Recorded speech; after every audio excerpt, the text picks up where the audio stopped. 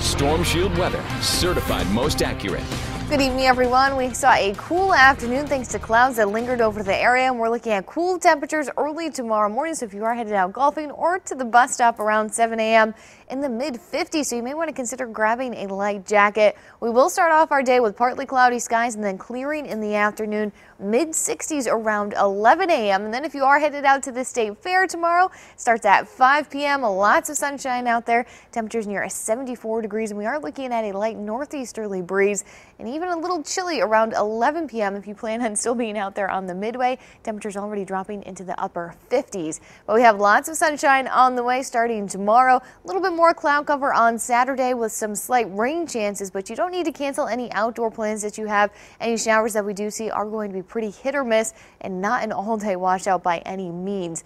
Cooler air has settled into the region, so that means fall-like temperatures are sticking around for a little while before they warm right back up by the middle of next week. So throughout most of the day, green country saw pretty cloudy skies that helped to keep our temperatures down, but now those clouds have cleared out of the area, and we do have another disturbance just off to the west of us, pushing cloud cover into western Oklahoma, also bringing some rain into the panhandle of Texas. That is going to be moving along I-35 by tomorrow morning, but we're not looking at that rain here in Tulsa. Because of the clouds, we only made it up to 71 in Tulsa, 73 in Bartlesville, 70 in Okmulgee, 74 in Muskogee, and 73 this afternoon in Tahlequah.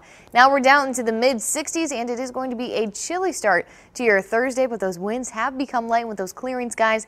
That's why our temperatures are going to drop back down to the mid 50s, which is right where they should be for this time of year. 56 already in Bartlesville, 59 in Pryor, 58 in Vinita, 57 in Tahlequah, 63 in Muskogee, and 60 degrees in Okmulgee. Future track showing some cloud cover from that system moving into the areas we start off our day tomorrow mainly right along Highway 75. And that's going to stick around through midday with some breezy northeasterly to northerly winds and then clearing skies by the evening hours. But you notice most of that rain stayed right along I-35 and west of the area. And then clear skies as we head towards Friday morning. It's going to be beautiful for the Friday night football games as well.